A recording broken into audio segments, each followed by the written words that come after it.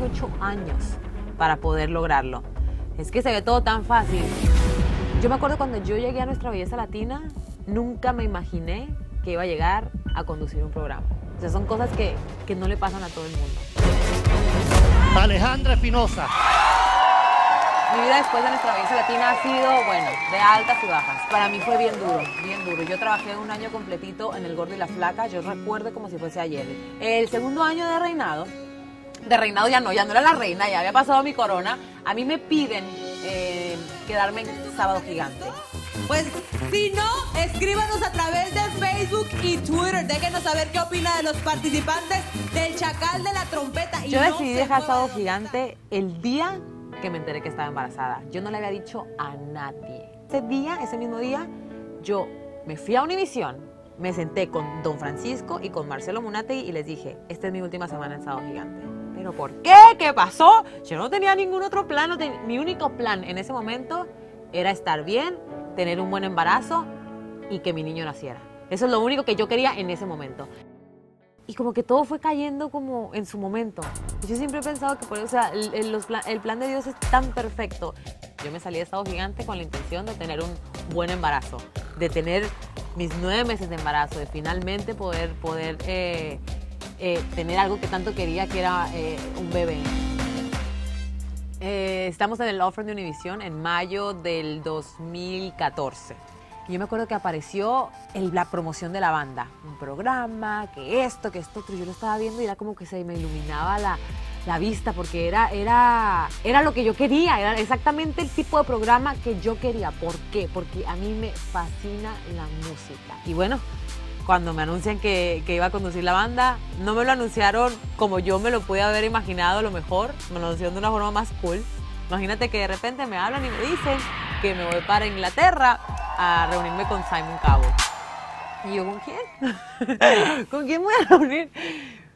Él nos recibió en su casa, con su esposa, con su hijo, con dos de las personas que trabajaron muy de cerca con nosotros en la banda.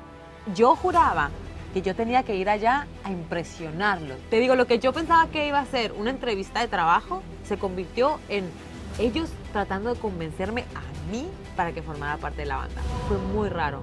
Hablaban del proyecto con tanta emoción y con tantas ganas y como si fuese el primer proyecto que tienen en su vida, que a mí también eso me llenaba de, de- de- de ganas de hacerlo. Entonces, la última palabra que me dijeron, o la última pregunta fue, entonces, ¿qué? ¿Te montas en este barco con nosotros? Y yo, pues sí, o sea, definitivamente sí, yo no, no, yo no sabía que era, no sé, era- fue, fue muy raro, pero fue muy lindo, la verdad, la experiencia fue increíble, mi primera vez en Londres, pero no me quedé con las ganas de, de visitar un poquitito y de ir a la casa de Simon Cowell, que no todo el mundo va. Recibimos a los finalistas de La Banda. Una vez comienza la banda, una vez arranca la banda y ha sido, ha sido pues un montón de trabajo, pero bienvenido sea. Gracias a Dios me da la oportunidad de poder estar con Mateo todo el tiempo. Mateo es de verdad que un guerrero. Ese, mientras esté con mamá, le da igual la vida, le da igual todo lo demás. Hemos viajado un montón por todos lados. Eh, a mí el programa de verdad que me encanta, me motiva a, a- a hacer cosas por el programa porque me gusta y me da la oportunidad de eso, de, de- de mantenerme con mi familia, de, de también tener eh, semanas libres para estar con ellos. Ahora, ahorita que tengo un poquito más de tiempo libre, eh, trato de seguirme preparando. Nos mudamos para Los Ángeles. Tengo la oportunidad de que en la banda se trabaja solamente los últimos cuatro, tres meses de- del año. Y yo siempre estoy eh, viendo a ver qué aprendo. O sea, uno nunca sabe cuándo viene una oportunidad. A mí cuando vienen las oportunidades me gusta estar bien preparada.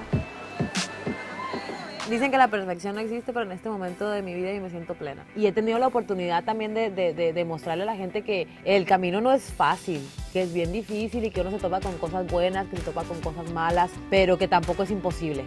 Una de las cosas que yo creo que disfruto más o que más me alegra de trabajar en televisión es poder inspirar a alguien. Te sigo en las redes sociales y eres mi, mi reina favorita. Ah, gracias.